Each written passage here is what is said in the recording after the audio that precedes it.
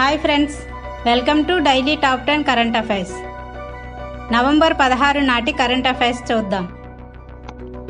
శ్రీహరికోట నుంచి జూలై పద్నాలుగున చంద్రయాన్ త్రీ ఉపగ్రహాన్ని నింగిలోకి తీసుకెళ్ళిన ఏ వాహక నౌక పైభాగం ఇటీవల భూ వాతావరణంలోకి ప్రవేశించింది? Answer L V M three M four. Launch vehicle mark three M four.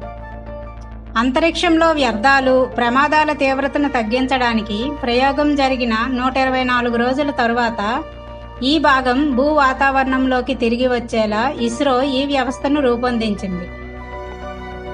ఇది ఉత్తర పసిఫిక్ మహాసముద్రంలో పడిపోతుందని శాస్త్రవేత్తలు భావిస్తున్నారు.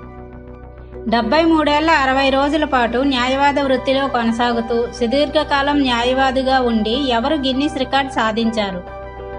ఆన్సర్ పాలక్కడ్ జిల్లాకు చెందిన బాలసుబ్రమణీయ మీనా. పంతొమ్మిది వందల యాభైలో యువకుడుగా న్యాయవాద వృత్తిలోకి వచ్చిన మీనా తొంభై ఏడేళ్ళ వయసులో కూడా కేసులు వాదిస్తున్నారు. స్పెయిన్ ప్రధాని పదవిని సోషలిస్ట్ పార్టీకి చెందిన ఎవరు మరోసారి అధిష్ఠించనున్నారు? Answer Pedro Sanchez. రాబోయే ఐదేళ్ళ కాలంలో మూడు వేల కొత్త రైళ్ళను అందుబాటులోకి తీసుకువచ్చే ప్రణాళికపై కసరత్తు చేస్తున్నట్టు రైల్వే శాఖ మంత్రి వెల్లడించారు. కేంద్ర రైల్వే శాఖ మంత్రి ఎవరు? ఆన్సర్ అశ్విని వైష్ణవ్. స్థానికులకు తక్కువ వేతనాలున్న ప్రైవేటు ఉద్యోగాల్లో డెబ్బై ఐదు శాతం రిజర్వేషన్ కల్పిస్తూ ఏ ప్రభుత్వం తీసుకువచ్చిన చట్టాన్ని రాజ్యాంగ విరుద్ధమని పంజాబ్ హర్యానా కోర్టు కొట్టివేసింది. ఆన్సర్ హర్యానా ప్రభుత్వం. దీని పేరు Haryana state employment of local candidates act. Global TB report రెండు వేల ఇరవై మూడు ప్రకారం అత్యధిక సంఖ్యలో క్షయ కేసులు ఎక్కడ నమోదయ్యాయి? ఆన్సర్ ఇండియాలో ఇరవై ఏడు శాతంగా.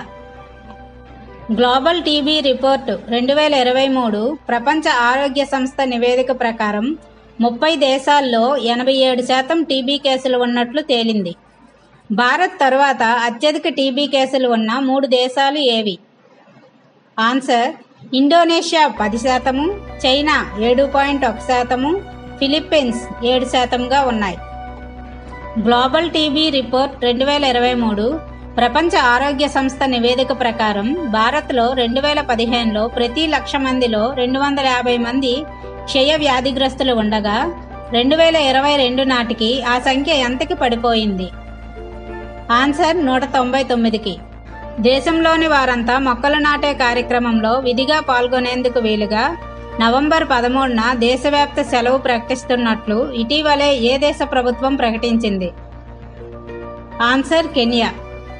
వచ్చే పది సంవత్సరాల్లో పదిహేను వందల కోట్ల మొక్కలను నాటడమే లక్ష్యంగా కెన్యా ప్రభుత్వం ఈ కార్యక్రమాన్ని శ్రీకారం చుట్టింది. పదిహేను పాయింట్ ఐదు కోట్ల ఏళ్ళ క్రితం మాయమైన ఏ ఖండాన్ని ఆసియా ఖండంలో శాస్త్రవేత్తలు గుర్తించారు. ఆన్సర్ ఆర్గోల్యాండ్ ఖండం. Thank you friends.